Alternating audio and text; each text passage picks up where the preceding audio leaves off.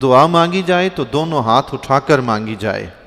बावजू होकर मांगी जाए। अच्छा लिबास पहनकर, खुशबू लगाकर, अच्छे तरीके से तैयार होकर अल्लाह की शान के मुताबिक उसकी बारगाह में हाज़िरी देनी चाहिए नहीं।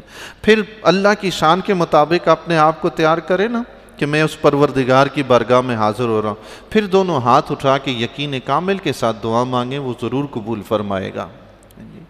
हज़रत बाजीद बस्तामी रहमत ताली के बारे में आता है, एक मरतबा सर्दियों का वक्त था, बहुत शदीद सर्दियों का मौसम था तो आप रहमत ताली ने अल्लाह की बारगाह में दुआ मांगी तो दुआ मांगते वक्त आपने अपने कपड़ों से एक बाहर निकाला, दूसरा अंदर ही छुपाए रखा तो अल्लाह की बारगाह में दुआ मांगी, एक हाथ उठाकर, रात को ख्वाब में देखा कि वो एक हाथ जो दुआ के लिए उठाया था, नूर से भरा हुआ है।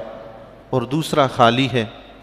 बारगाह इलाही में अल्तजा की कि मौला, ये क्या मेरा एक हाथ नूर से भरा है, दूसरा खाली है?